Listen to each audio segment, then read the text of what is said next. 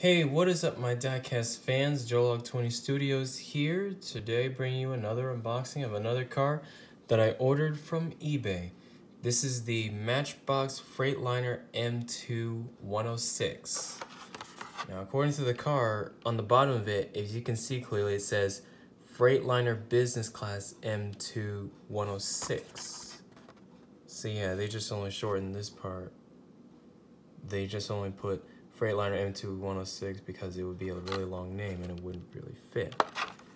Anyway, this is a fire truck which was manufactured by the truck company Freightliner. It's a really nice looking fire truck. I, I picked this up on eBay. It was the last one in stock for only a, a price tag of $4.95. Uh, I wasn't able to find this in the stores in my area.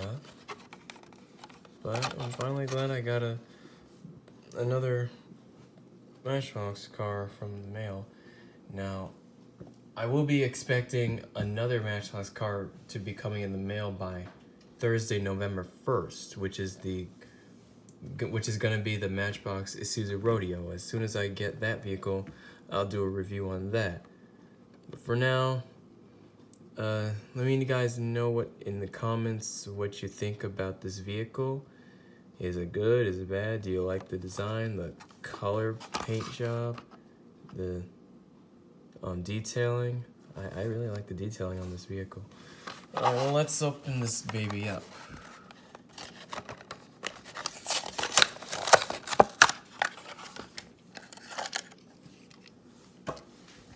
Okay, so as you can see, here's the front. And then Here's the side. The Matchbox Fire Company. I have so many fire trucks in my car collection.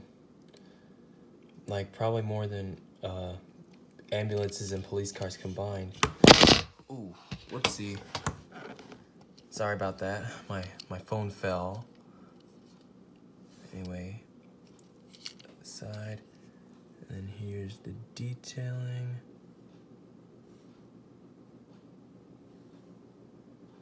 It's a 164 scale as well. I like that. Okay. Well, this is the Matchbox Freightliner M2106. So I hope you guys enjoyed this short mini review of this Matchbox diecast car. It's definitely a car that you'd like to add to your collection if you're really into fire trucks or if you're just a fan of Matchbox cars overall.